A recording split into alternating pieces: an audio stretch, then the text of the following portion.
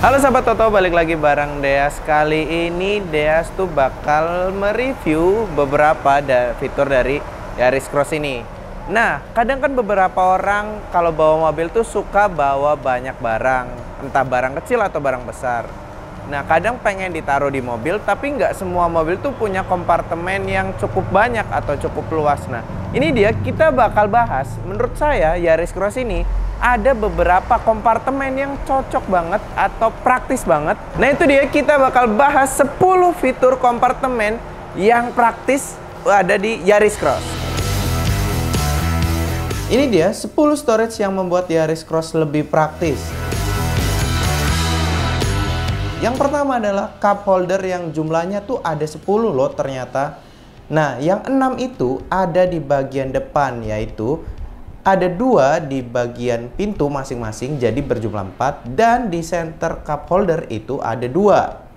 Di bagian belakang itu berjumlah 4 yang ada di pintu masing-masing satu dan ada di armrest tengah itu adalah dua. Jadi jumlahnya tuh total 10 cup holder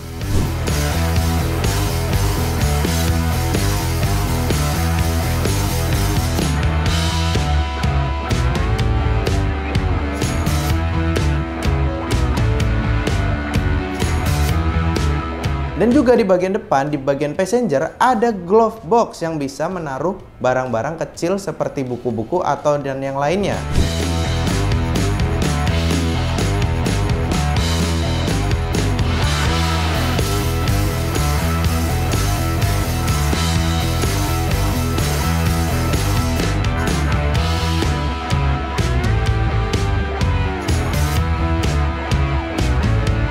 Dan selanjutnya ada side pocket center console yang posisinya ada di sebelah kanan kaki penumpang depan.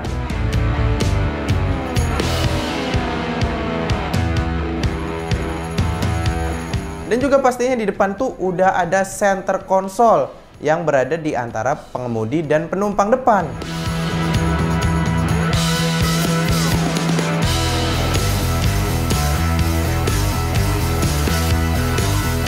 Nah, nggak kalah ketinggalan nih, ada phone storage yang berada di bawah dashboard.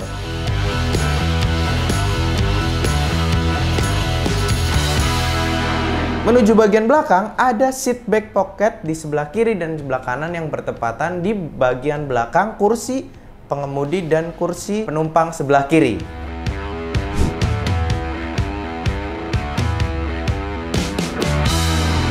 Dan kita beralih ke bagian belakang mobil ini, yaitu tentunya di bagasi itu udah cukup luas bagasinya, tapi ternyata ada hidden storage.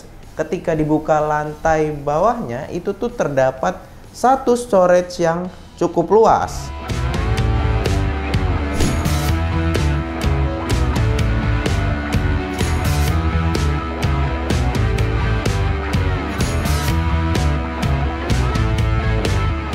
Dan juga nggak kalah penting nih, ada side hidden storage bagasi yang berada di posisi kanan bagasi untuk mobil hybrid dan untuk mobil bensin ada di kedua sisi kiri dan kanan. Bisa dibuka, ada penutupnya juga.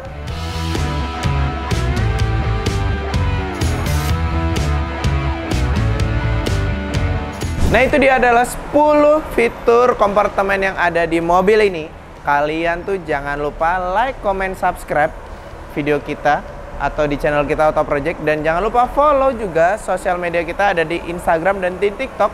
Dan cukup sekian videonya untuk mobil ini. Auto Project bikin mobil auto keren